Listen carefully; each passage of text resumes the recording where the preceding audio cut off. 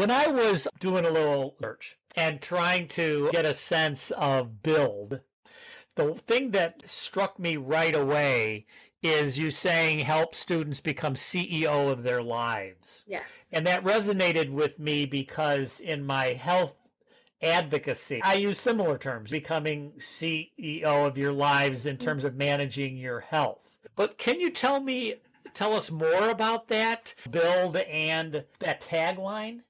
Sure. And I love that it's part of the health conversation and we can talk about how this relates. But so the program is really designed to teach entrepreneurial skills to high school students.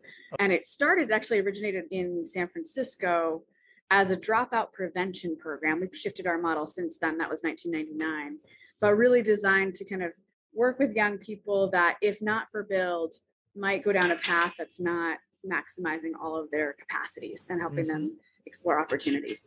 And so all of our students actually build and create a business and okay. generate revenue. They work together on a team, they pitch their idea, they sell their products. But most of our students are not going to go on to be entrepreneurs. Some of them might, but the majority of them are going to go into a variety of different professions and work at different companies or organizations.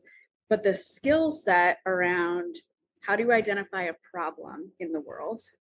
How do you then solve that problem with a unique idea? How do you pitch that idea to someone, then work with the team to collaborate to create that product? And then how do you manage your finances? All of that is not specific to business, right. but really a life skill. Those are life right? skills.